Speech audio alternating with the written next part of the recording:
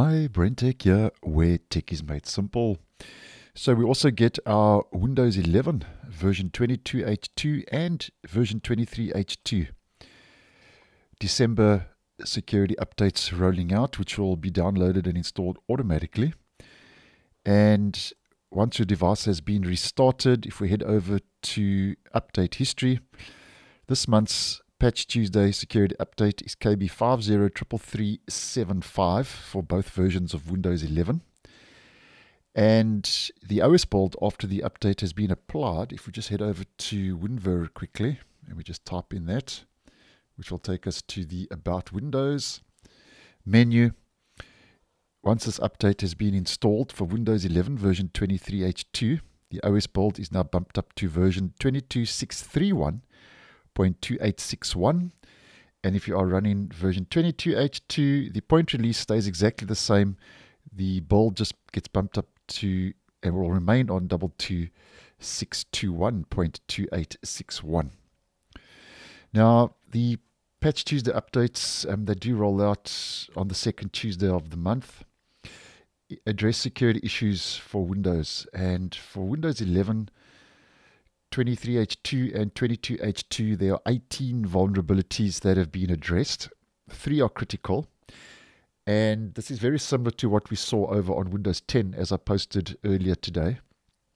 And the three critical vulnerability, vulnerabilities, which, by the way, critical is your highest ranked vulnerability, those criticals are all remote code execution vulnerabilities, which means that um, the hackers, attackers, and so on can get access, as an example, through a network or the internet to your system.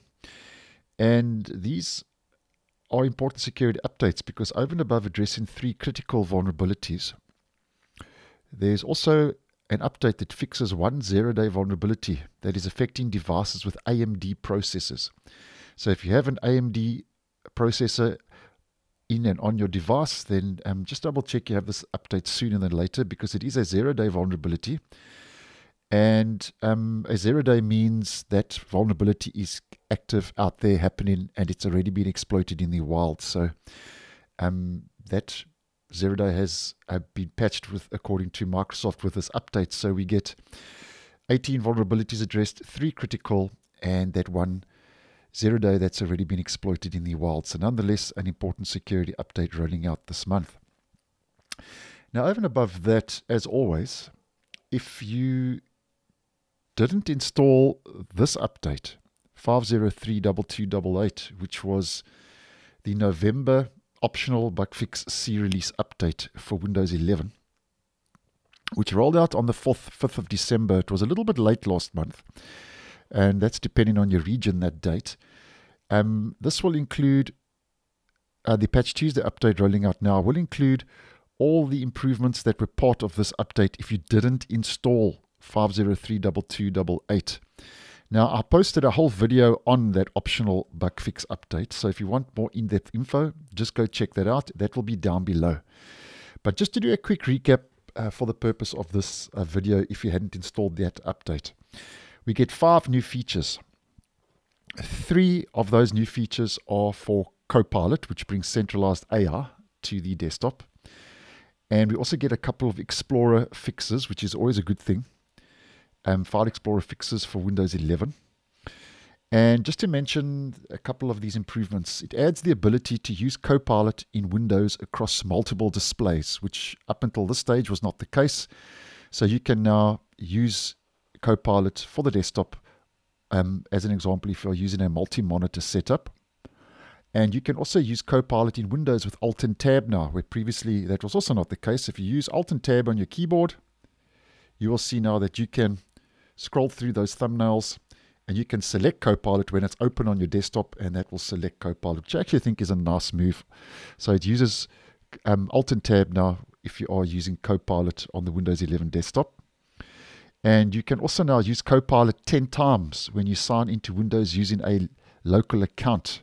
So that's um, been bumped up to 10 times if you are using a local account. And then Windows Spotlight uh, is becoming set as the uh, default background. Now, this I think is progressively rolling out. So, um, Microsoft did say with the optional bug fix that um, Spotlight is set as the default background on a controlled rollout. So you may see this option, you may not, but nonetheless, just making you aware of that.